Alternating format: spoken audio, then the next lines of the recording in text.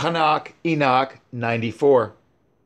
And now let me exhort you, my children, to love righteousness and to walk in it. For the cycles of righteousness are worthy of acceptation, but the paths of iniquity shall suddenly fail and be diminished. To men of note in their generation, the paths of oppression and death are revealed, but they keep far from them and do not follow them. Now, too, let me exhort you, righteous, not to walk in the paths of evil and oppression, nor in the paths of death. Approach them not, that you may not perish, but covet, and choose for yourselves righteousness and a good life.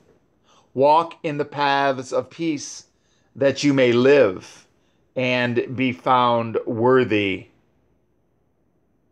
Retain my words in your inmost thoughts and obliterate them not from your hearts. For I know that sinners counsel men to commit crime craftily.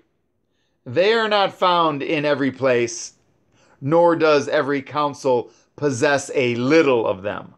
Woe to those who build iniquity and oppression, and who lay the foundation of fraud.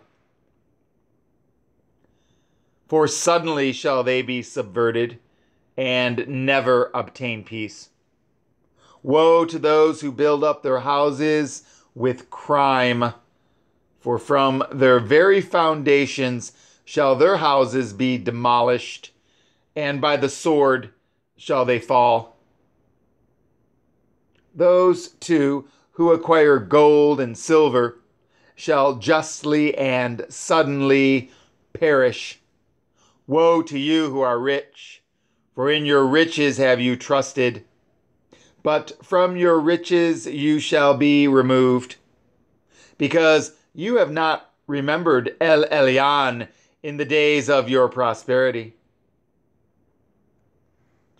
You have committed blasphemy and iniquity, and are destined to the day of the effusion of blood, to the day of darkness, and to the day of the great judgment. This I will declare and point out to you that he who created you will destroy you. When you fall, he will not show you mercy, but your Creator will rejoice in your destruction.